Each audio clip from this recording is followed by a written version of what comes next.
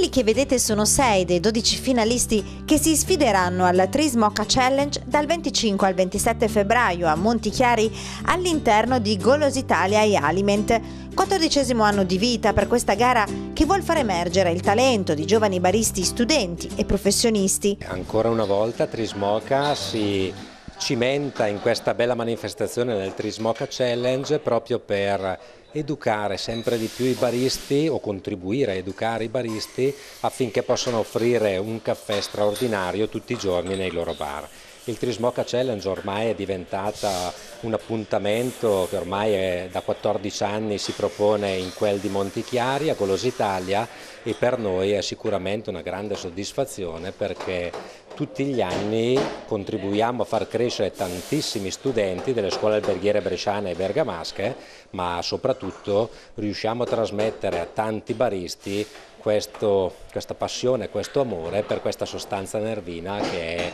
l'espresso, in questo caso di Trismoca naturalmente. E tra i finalisti anche il pluricampione Daniele Ricci, tornato qualche giorno fa da Rimini per il campionato nazionale baristi. È stata, come tutti gli anni, un'esperienza fantastica, sia l'anno scorso Montichiari che quest'anno la gara nazionale. Sono riuscito a classificarmi al quinto posto, è stata un, una soddisfazione molto, molto grande, però adesso sicuramente non voglio fermarmi perché come ho già detto anche a Paolo è bello sentirsi dire che sono giovane e quindi sono già a un buon livello ma voglio fare qualcosa di più, voglio fare quel salto di qualità poi, eh, a cui tanto ambisco. Diciamo. Un appuntamento, quello del Trismoca Challenge, caro al patrono Uberti, che ogni anno prepara assieme ai formatori della scuola di Paratico questi ragazzi affinché possano ottenere il titolo da campione. Oggi proprio qui abbiamo 6 dei 12 studenti che assieme a uno dei formatori di Trismoca, autorevole perché Andrea Antonelli è quattro volte campione italiano di latte art e una volta campione italiano baristi, eh, sicuramente hanno la possibilità di rubare a lui le tecniche per offrire un cappuccino perfetto, ma non solo, anche un cappuccino col cuore, con la foglia o con altre forme e in questo momento proprio sono all'opera per prepararsi al meglio anche per le finali del Trismoca Challenge 2017. Come li vedi questi ragazzi? Beh, hanno già un'ottima un base, vuol dire che hanno sono tutti ragazzi molto giovani che hanno frequentato già dei corsi eh, precedenti, quindi hanno passato una selezione, hanno già, si vede, delle conoscenze eh, di macinatura, di estrazione, di montatura di latte, quindi già anche per me oggi il lavoro è facilitato.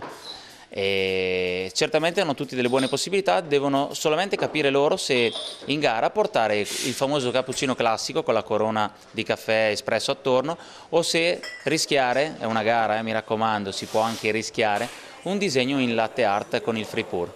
Il rischio paga?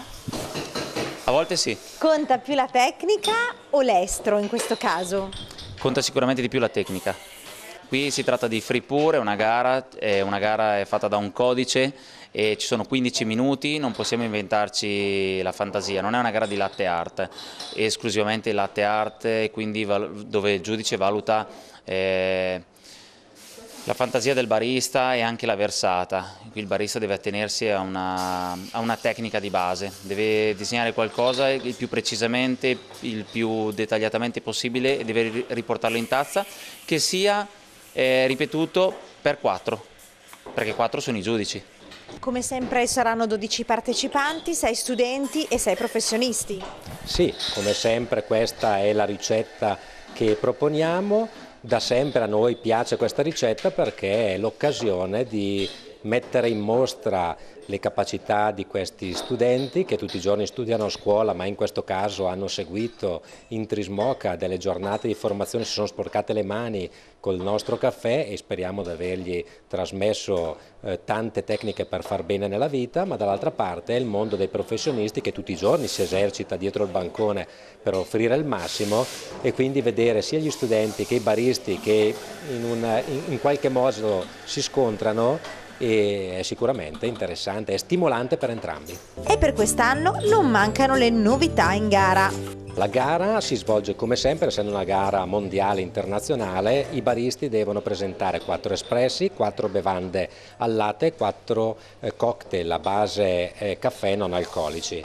Da quest'anno il World Barista Championship ha deciso di ehm, sostituire il cappuccino, quindi la seconda bevanda, con l'opportunità che il barista presenti una eh, bevanda a base di latte, quindi il barista può portare il concorrente un cappuccino tradizionale o latte art oppure inventare una bevanda al latte, quindi sono sicuro troveremo delle novità sul palcoscenico di Montichiari all'interno di stand Trismoca